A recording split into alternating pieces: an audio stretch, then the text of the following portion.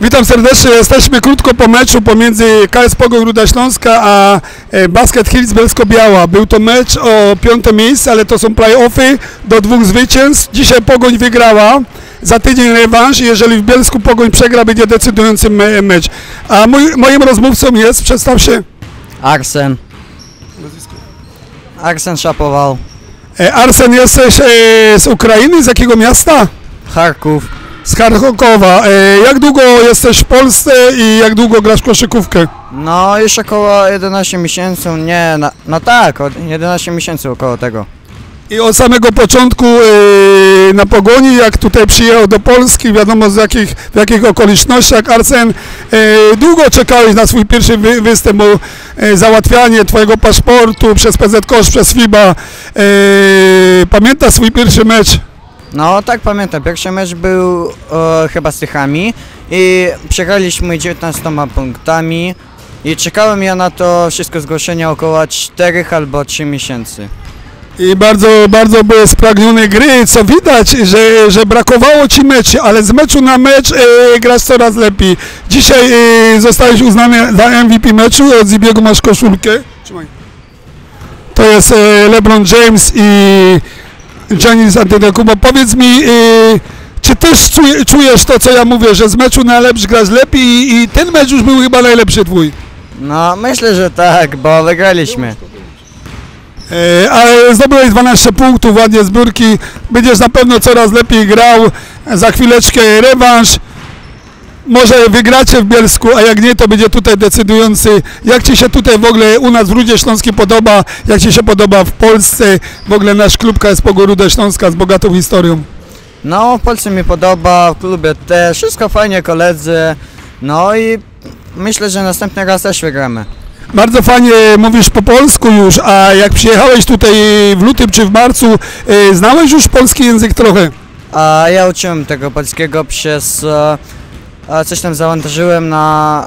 przez Play Market jakimś, nie wiem, na coś tam zawantażyłem i uczyłem tam polskiego. A chodzisz do szkoły tutaj albo zdalnie na Ukrainie? A ja chodzę tutaj o. Liceum albo szkoła podstawowa? Nie, nie, podstawowa szkoła, a później postaram się przejść do liceum. a- Powiedz mi, e, miałeś, e, oglądałeś mecz gwiazd e, teraz ten weekend albo spałeś? A możecie A, powiedzieć? e, NBA e, All-Star Game, NBA czy oglądałeś? A nie, nie oglądałem, bo.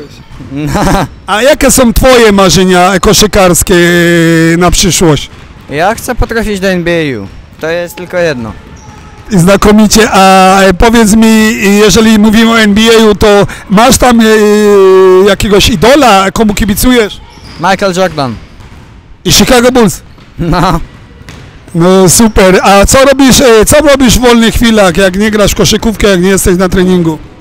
No to jest leżę, może pójdę na dwór, mam kole, koleżanek. Dlatego chodzę ś- no tam na spacery takie. E, zobaczymy, ja Ci życzę wszystkiego dobrego, żebyś kiedyś zagrał w reprezentacji. E, zobaczymy jak będzie, żebyś się rozwijał, masz, e, masz pre, pre, fajne predyspozycje.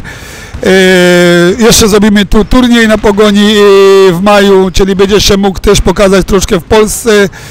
No i masz okazję teraz coś powiedzieć, yy, kogoś pozdrowić, komuś coś miłego powiedzieć tam na Ukrainie, kogoś pozdrowić tu w Polsce.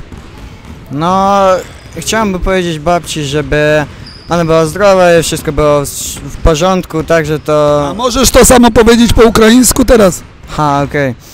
Ну, то по-российски бо я не разумею российский. А, Я хотел бы передать э, бабушке и дедушке, чтобы все было у них хорошо, чтобы война эта уже закончилась. И хотелось бы уже с ними увидеться. A tu w Polsce kogo byś chciał pozdrowić? Masz może dziewczynę już w Polsce? Nie, nie mam, mogę pozdrowić tylko mamę. No, co można powiedzieć, no...